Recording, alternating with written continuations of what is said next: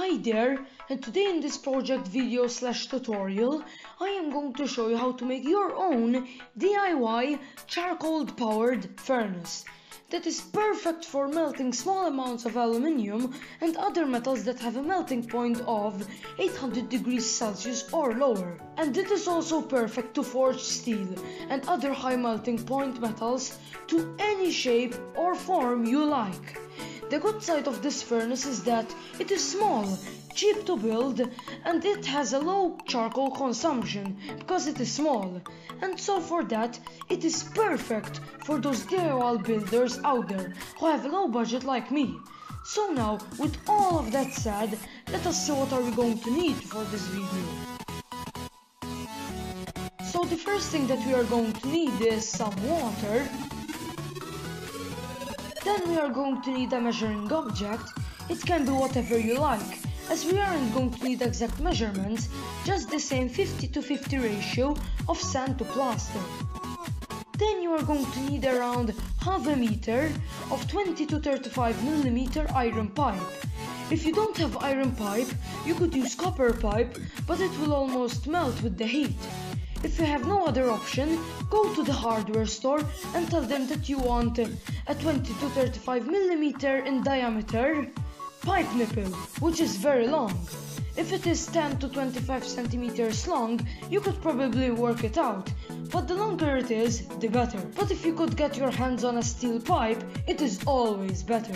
Next, for the insulation of our steel bucket, we are going to need some fast drying plaster of Paris or hemihydrate calcium sulfate. Then, to make the plaster of Paris strong and heat proof, you are going to need some sand. This amount should be equal, and I ended up using around 100 grams of sand and plaster of Paris. You are going to need a small 1 gallon steel bucket, which is equivalent to around 4.5 liters. And for the tools, we are going to need a permanent marker, a drill, an 8mm drill bit, but if you have, you could use a drill bit the same size as the pipe. It would be best, but it comes at a hefty price than a normal bit. You are going to need a medium to fine mesh sieve. This is optional, but it makes the mixture better. And finally, a mixing bucket. So with all of that said, let us begin this project. So the first thing that I'm going to do is to sieve the sand. As I said, this is optional, but it makes the furnace smoother and lasts longer. So now, I'm going to mix equal amounts of sand to plaster of Paris, to a ratio of 50 to 50. I mixed around a 70 gram batch, but the measurements will differ a bit from yours. After that, before I added the water, I mixed up the mixture by hand, so that there won't be any clumps and different mixtures and ratios. Then, after that, we add water slowly until the mixture is like a watery paste. Then, after that, pour the mixture into the bucket so that it is about 4 centimeters thickness from the bottom of the bucket. Then, just give it around 15 to 20 minutes to settle and harden.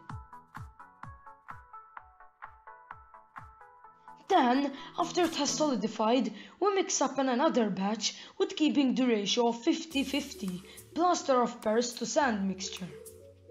And now, after we made the mixture, we'll just coat the inside of the bucket with around 4 centimeters of the mixture on the sides of the bucket, so that we have a fireproof layer coating the bucket.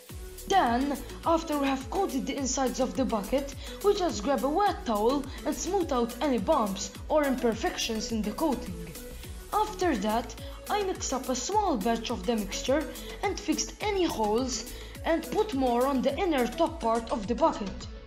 After that, I smooth out again the plaster and then clean the bucket from the outside.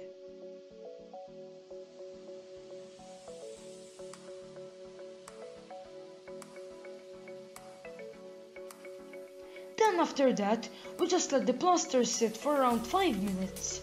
After that, we are going to need to drill the hole for the pipe.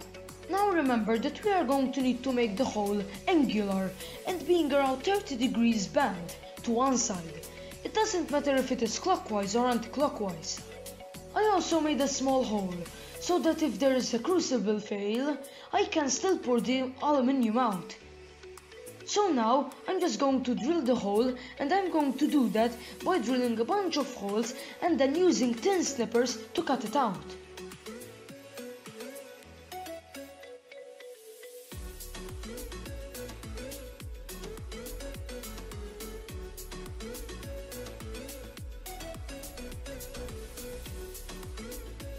After that, I'm going to hammer the pipe at an angle in the hole so that it makes a tight seal.